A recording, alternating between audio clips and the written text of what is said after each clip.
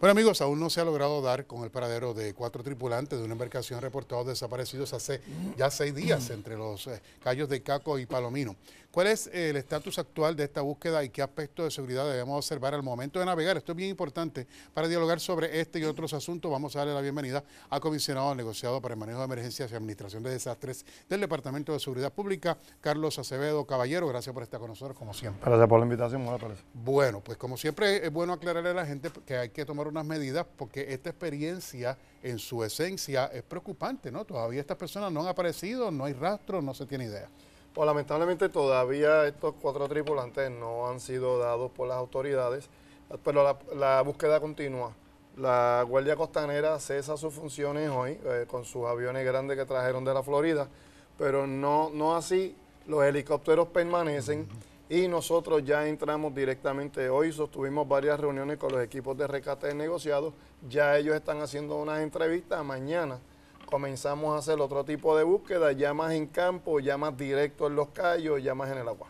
Este tipo de búsqueda sé que debe ser bastante complicada porque estamos hablando del mar y esto hay que cuadricularlo, entonces saber qué área se recorrió. En tierra a veces uno se imagina, ¿no? La experiencia la tienen ustedes, que quizás pueda ser un poco, eh, quizás no, necesariamente más fácil, pero un poco menos complicado, viéndolo desde el punto de vista general. Lo que pasa es que esta situación de emergencia comienza un poco atípica. Esta emergencia comienza el pasado jueves a eso de las 5, 5 y 26 de la tarde que se genera la primera llamada la compañía de grúa marítima va al lugar de los hechos. Ahí Llega como media hora. Al no encontrarnos más o menos unos 30 minutos, no los encuentra, hace un search, no los encuentra y vira nuevamente para la marina.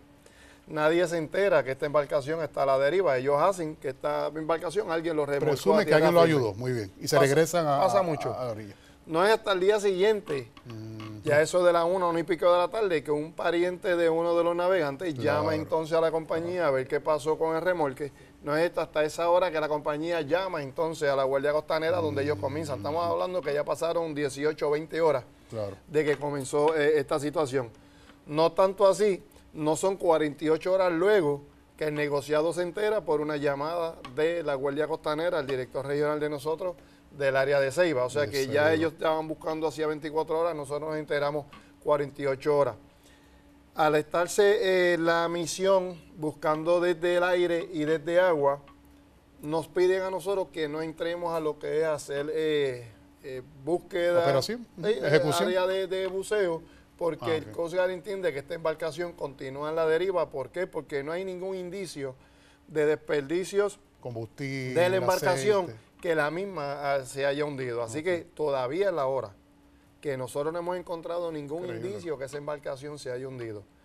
No obstante, mañana nosotros entramos directamente con los equipos de rescate en negociado a los diferentes callos, caminando los callos, entrando en diferentes áreas eh, eh, que pueda haber eh, árboles o, maleza, que no haya sido que ellos hayan nadado y se hayan escondido, aunque también pasó el fin de semana, fin de semana y Caco tiene muchas embarcaciones, Palomino tiene embarcaciones, así que eh, vamos a entrar a los diferentes callos, vamos a ver eh, qué nos encontramos ahí para poder ver entonces, seguimos rastreando las señales de celular, aunque los celulares, los tres celulares perdieron señal el jueves a eso de las 6 y 30 de la poco después de la hora. Pero sí estamos trabajando con las compañías de celulares, qué distancia tienen esa señal para ver si podemos atar otros cabos, poder triangular y ver entonces poder hacer otro tipo de de, búsqueda. Mientras tanto, continuamos con las esperanzas eh, de que podamos encontrarnos. Hemos hecho gestiones con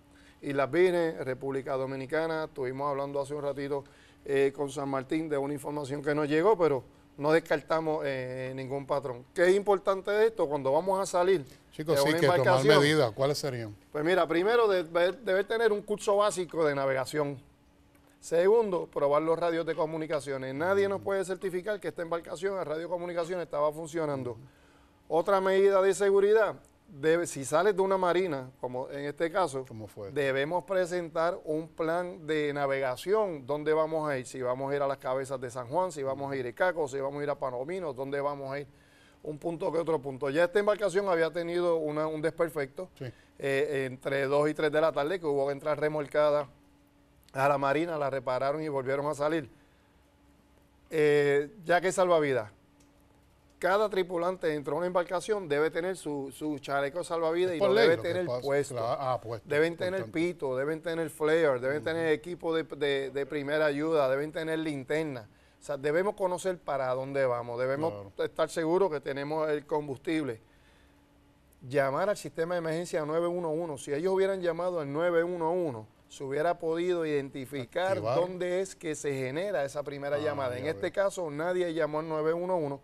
Desde la llamada que ellos hacen a su pariente, a su hermana, a que los teléfonos pierden señal, pasa una hora y en esa hora nadie llamó al sistema de emergencia 911, nadie llamó a la policía, nadie llamó a nadie, o sea que no tenemos dónde ellos pudieron haber terminado. mucho Así tiempo, que continuamos, continuamos en la búsqueda, pero es bien importante si vamos a navegar, tener claro cuáles son las condiciones del tiempo, muy importante mirar las condiciones del tiempo, hacia Claro, dónde está la marea, cómo, va, cómo están las olas, dependiendo de la embarcación que nosotros tenemos. Yo creo que la orientación que nos ha brindado es de mucha utilidad para la comunidad en general, sobre todo todas estas personas que, que acostumbran a navegar y que esta experiencia, pues que ojalá tenga alguna, algún rescate, alguna intervención de ustedes y que se pueda pues dar eh, con el paradero o qué finalmente sucedió en este proceso. Tenem- ten- Tenemos dos familias eh, preocupadas y sufriendo eh, por sus Así es. familiares, por eso el trabajo de nosotros eh, continúa en la búsqueda. Por favor, manténganos al tanto para Claro. seguir informando. ¿Está bien? Muchas gracias.